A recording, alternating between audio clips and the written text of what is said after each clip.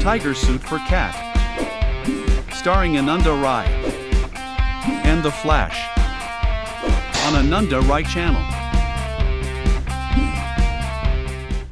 Rai begins to analyze the tiger costume for the cat. This costume should contain characteristic black stripes and overall features of a tiger. Let's see what's in the store. This suit will not fit. It's much better that way. Now let's see how the suit looks in real life. Not bad. Now let's try our costume on a cat.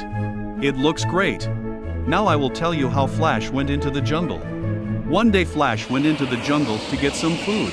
It was quite dangerous there and he was hiding in a tree from predators. Flash was in a tiger suit for a reason.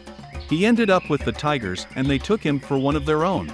Flash was having a great time with his new family, but soon the deception was revealed and Flash had to flee.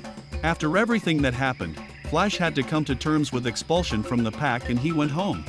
Despite the fact that the happy life in the jungle did not last long, Flash lived it quite happily. Staying in the jungle for a long time was not a good idea because it was not safe there. Flash learned a lot from his trip and next time he will be much better prepared to avoid being found out so quickly. The tiger suit itself turned out to be quite soft and comfortable. During the rainy season in the jungle, the suit did not help at all, because it got very wet. After Flash returned home, he began his usual activities. Let's now look a little more at the home life of Flash the cat.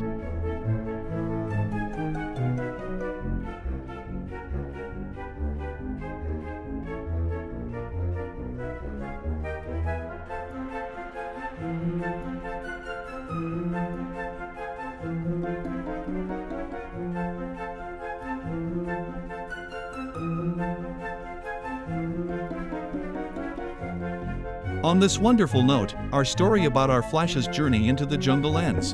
Thanks for watching, subscribe to the channel.